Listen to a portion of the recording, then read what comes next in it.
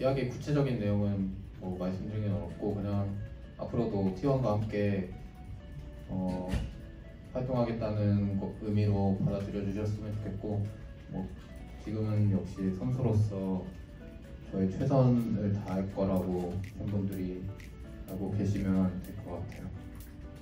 아무래도 T1에서 좋은 대우나 좋은 대우를 해줬, 해줬기 때문에 제가 그런 결정을 했 던 것 같고요. 뭐 그리고 뭐 그런 계약적인 부분을 떠나서 제가 한국에서 뛰면서 많은 팬분들이 저를 응원해주시고 그리고 또 한국의 어떤 이미지처럼 자리 잡았기 때문에 제가 T1에서 활동하는 것이 조금 더 저를 포함해서 많은 분들에게 좋은 상황이 되지 않을까 생각을 해- 했기 때문에 제가 뭐 그런 결정을 내린, 내린 거고요.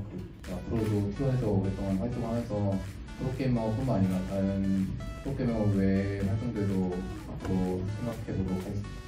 은퇴의 한방에 대해서는 구체적으로 생각해 놓고 있지는 않고 다만 T1과 이제 함께하게 되면서 은퇴 후에도 T1과 함께할 가능성도 높다고 생각하고 있습니다.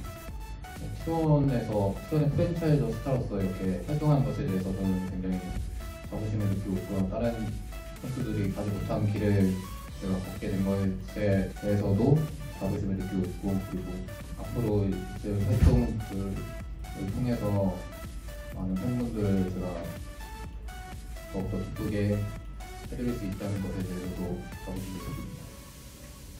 저 스스로는 일단 경기력 자체는 굉장히 자신감 있고 물론 제가 기복이 있긴 하지만 제가 그런 저 스스로의 문제점이나 아니면 앞으로의 발전 가능성을 어, 저 스스로 객관화해서 좀 생각을 했을 때 앞으로 오랫동안 활동할 수 있다고 생각합니다.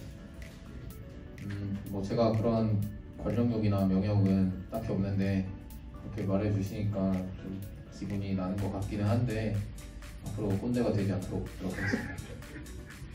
네, 이거는 그리고 저와 관련해서도 그런 구단에서 오랫동안 활동한다는 기사를 보고 많이 응원해 주시는 팬분들한테도 감사드리고요. 앞으로도 T1 T1에서 팬 여러분들에게 좋은 경험을 선보이기 위해 노력하겠습니다.